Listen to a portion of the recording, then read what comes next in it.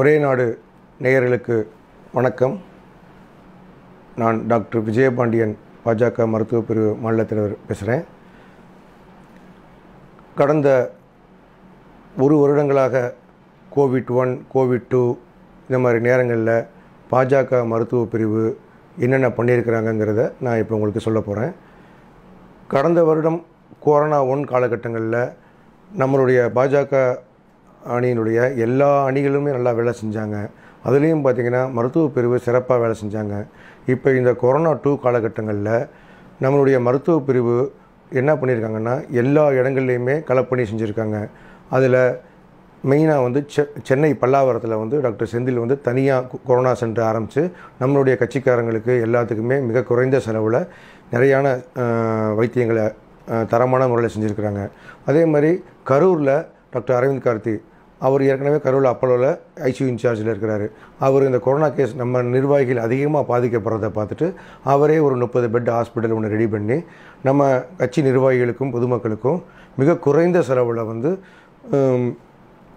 Corona பேஷண்ட்டுகளுக்கு ஃபுல்லாக வைத்தியம் பண்ணி பண்ணி பண்ணிகிட்டு இருந்தார் அதே மாதிரி மதுரையிலையும் பண்ணிகிட்டு இருந்தாங்க நாகர்கோவில்லையும் டாக்டர் அரவிந்த் பண்ணிகிட்டு இருந்தார் தூத்துக்குடியிலையும் நம்ம ஆயுர்வேதாவில் வந்து டாக்டர் பூபதி பாண்டியன் பண்ணிகிட்டு இருந்தார் திசைநொழியில் பண்ணிகிட்டு இருந்தாங்க இப்போ டாக்டர் சுகுந்தன் சென்னை பல்லவரம் ஆயுர்வேத டாக்டர் தனியாக ஒரு ஐம்பது பெட் ஹாஸ்பிட்டல் ஆயுர்வேதாவில் வந்து நம்ம தனியாக இப்போ கொரோனாக்குன்னு சொல்லி தனியாக ஹாஸ்பிட்டலில் நம்ம ஆயுர்வேதாவிலே நிறையா பண்ணிகிட்டு இருக்காங்க அதே மாதிரி இப்போ கொரோனா காலகட்டங்களில் பார்த்தீங்கன்னா இதை தாண்டி அவங்களால முடிஞ்ச அளவுக்கு நம்ம பேஷண்ட்டை அட் அட்டன் பேஷண்ட்டுக்கு உதவி பண்ணிவிட்டு அந்த பேஷண்ட்டோட அட்டண்டர்களுக்கோ அவங்க சார்ந்த மக்களுக்கோ அவங்களுக்கு தடுப்பு முறைகளையும் அதே மாதிரி அவங்களுக்கு தேவையான சாப்பாடுகளோ இல்லை அவங்களுக்கு தேவையான பண வசதிகளோ தேவையான தானியங்களோ நம்மளுடைய மளிகை பொருட்களோ எல்லாமே நம்ம மருத்துவ பிரிவிலிருந்து எல்லாருமே செஞ்சுருக்கிறாங்க. அது போக பார்த்திங்கன்னா இந்த கொரோனா காலகட்டங்கள் தவிர்த்து நம்மளுடைய மருத்துவ பிரிவு பார்த்திங்கன்னா எல்லா இடங்கள்லையுமே வந்து கீழ்மட்டத்திலேருந்து நம்ம கட்சியில் பூத் லெவல்லேருந்து எல்லா இடங்கள்லையுமே வந்து எல்லா தொகுதியிலையுமே நம்மளுடைய மருத்துவ பிரிவு வந்து இறங்கி பேரன்பாடிக்கு ஈக்குவலாக வேலை செஞ்சுருக்கிறாங்க. இன்னொன்று இதுக்கு முன்னாடி பார்த்தீங்கன்னா பாஜக மருத்துவ பிரிவு நான் வந்து ஒரு பத்து மாதம் ஆச்சு நான் இந்த த மாநில தலைவராகி. அதுக்கு முன்னாடி பாஜக மருத்துவ பிரிவு இருந்தது. ஆனால் இந்தளவுக்கு இப்போ இல்லை. இப்போ நாங்கள் பொறுப்புக்கு வந்ததுக்கப்புறம் எல்லா மாவட்டங்கள்லேயும் எல்லா இடங்கள்லையும் கிளையிலேருந்து மேலே வரைக்கும் எல்லா இடங்கள்லையும் எல்லா டாக்டர்களையும் அலோபதியோ சித்தாவோ ஆயுர்வேதாவோ எல்லா நம்ம கட்சிக்கு சார்ந்த மக்கள் கட்சியில் விருப்பம் உள்ள மக்கள் எல்லாரையும் சேர்த்து அவங்க வந்து யார்கிட்டையும் போய் காசு வாங்காமல் சொந்த காசை செலவழித்து அவங்க சிறப்பான முறையில் செயல்பட்டுக்கிட்டு இருக்காங்க. அது இந்த எலெக்ஷன் நேரம் மட்டும் இல்லை பொதுவாகவே எல்லா இடங்களையும் நல்லா செஞ்சிட்ருக்குறாங்க இந்த எலெக்ஷன் நேரங்களில் மிகச்சிறப்பாக நம்ம மருத்துவ பிரிவு செயல்பட்டாங்க. அதில் பார்த்திங்கன்னா நம்ம தாராபுரம் தொகுதியாக இருக்கட்டும் அரவங்குறிச்சி தொகுதியாக இருக்கட்டும் நம்ம மருத்துவ பிரிவு போய் பத்து நாள் பதினஞ்சு நாள் அங்கேயே இருந்து எல்லா இடங்கள்லையும் பூத் லெவல்லேருந்து எல்லா இடங்கள்லையும் வேலை பார்த்தாங்க. இது வந்து முன்னாடி இருந்ததை காட்டிலும் இந்த இன்றைக்கி தேதிக்கு வந்து மருத்துவ பிரிவு வேறு நல்ல வளர்ச்சி அடைஞ்சிருக்கு. அதுலேயும் பார்த்திங்கன்னா முக்கியமாக இப்போ வந்து உதவி உதவி பண்ணுறதா இருக்கட்டும் எல்லா உதவியும். லாஸ்ட் டைம் கோவிட் ஒன்றில் வந்து நான் நான் மதுரை புறநகரில் இருந்தேன் அப்போ. அப்போ பார்த்தீங்கன்னா என்னோடய சொந்த காசில் சுமார் ஒரு எண்பதாயிரம் எண்பதாயிரம் மேற்பட்ட குடும்பங்களுக்கு நான் வந்து ஒரு ஒரு மாதமாக நாற்பத்தஞ்சு நாள் விடாமல் வந்து அரிசி பருப்பு காய்கறிகள் எல்லாருக்கும் கொடுத்து இது வந்து ஊருக்கே தெரியும். நான் வந்து என்னோட யார்ட்டையும் வசூல் பண்ணாமல் என்னோடய சொந்த காசை என்னால் முடிஞ்ச வரைக்கும் நான் உதவி பண்ணேன்.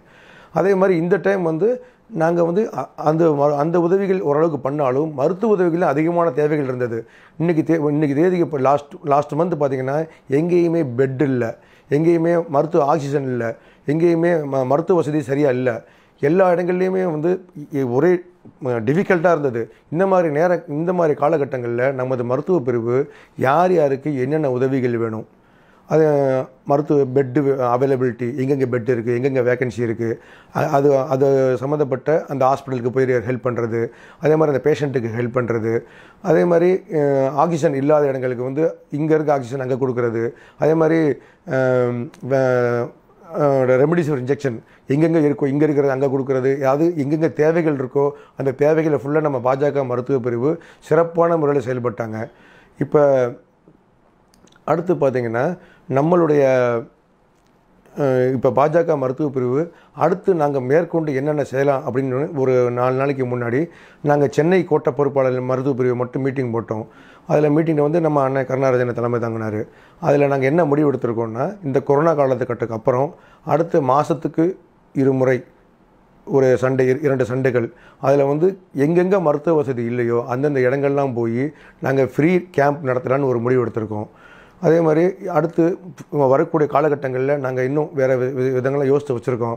பட் எங்களால் என்னென்ன முடியுமோ அதை நாங்கள் செய்வோம்.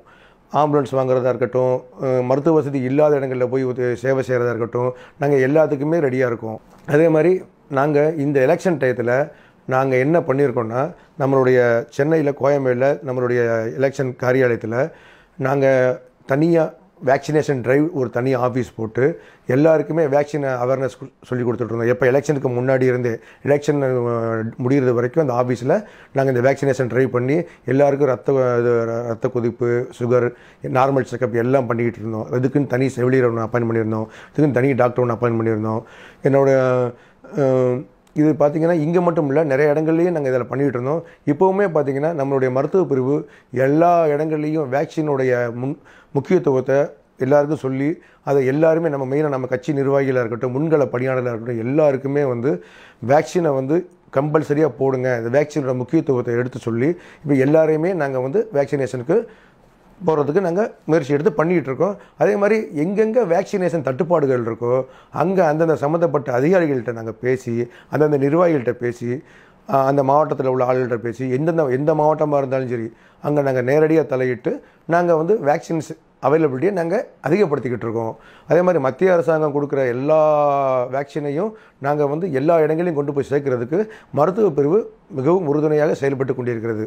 அதே மாதிரி இந்த கொரோனானால் வரக்கூடிய பின் விளைவுகள் பிளாக் ஃபங்கஸ் கருப்பு பூஞ்சை இது நோய் தொற்றுக்கு ஆளான மக்களுக்கும் நாங்கள் வந்து சிறப்பான மருந்துகளை கொடுத்து அவங்களுக்கும் நாங்கள் நோய்களுக்கு நாங்கள் டி சிகிச்சை அளித்து கொண்டிருக்கிறோம். அதே மாதிரி பார்த்திங்கன்னா இப்போ இந்த கொரோனாவை வந்து பார்த்திங்கன்னா நான் இப்போ வந்து தனியாக ரூமில் பேசிகிட்டு இருக்கேன். அதனால் நான் மாஸ்க் போடலை. ஆனால் நீங்கள் எல்லோரும் கண்டிப்பாக மாஸ்க் போடுங்க. எல்லோரும் வந்து அரசாங்கத்துக்கு ஒத்துழைப்பு தாருங்க. அரசாங்கம் மட்டும் நினச்சா கொரோனாவை தடுக்க முடியாது. கண்டிப்பாக எல்லாருமே வந்து மாஸ்க் போடுங்க. சமூக இடைவெளியை கடைப்பிடிங்க அரசாங்கத்துக்கு ஒத்துழைப்பு தாருங்க. தேவையில்லாமல் வீட்டை விட்டு வெளியே போகாதீங்க. தேவையில்லாமல் கூட்டம் கூடாதீங்க. அந்த அரசு கொடுக்குற அந்த அறிவுரையை கரெக்டாக ஃபாலோ பண்ணுங்கள் தேவையில்லாமல் வெளியே சுற்றாதீங்க தேவைக்கு மட்டும் நீங்கள் எல்லாம் வெளியே போங்க. தேவைக்கு மட்டும் எல்லாம் செய்யுங்க. இதை நீங்கள் பண்ணிங்கனாலே மேக்ஸிமம் கொரோனாலேருந்து நம்ம வந்து பாதிப்பாகாமல் நம்ம சேஃபாக இருக்கலாம். சரிங்களா? அதே மாதிரி பார்த்தீங்கன்னா இப்போ பிரதமருடைய ஆயுஷ்மான் காப்பீடு திட்டம். இதில் பார்த்தீங்கன்னா இன்றைக்கி தேதிக்கு எவ்வளவோ பேர் வந்து இந்த காப்பீடு திட்டத்தில் தனியார் மருத்துவமனைகளில் தரமான வைத்தியங்களில் இப்போ காப்பீடு திட்டம் மூலிமா நிறைய பேர் பலனடைஞ்சிருக்கிறாங்க. இந்த விஷயத்தை பொதுமக்களுக்கு நாங்கள் இப்போ கொண்டு போகிறோம் கண்டிப்பாக எல்லாருமே தெரிஞ்சுக்கணும். எல்லாருமே அந்த காப்பீடு திட்டத்தை உபயோகப்படுத்திக்கோங்க. அது ஏழையாக இருக்கட்டும் பணக்காரனாக இருக்கட்டும் யாராக இருக்கட்டும் காப் பிரதமருடைய ஆயுஷ்மான் காப்பீடு திட்டம் அருமையான அருமையான நலத்திட்டம். இதை வந்து அனைவருக்கும் கொண்டு போய் சேர்க்கிறது எங்களுடைய கடமை.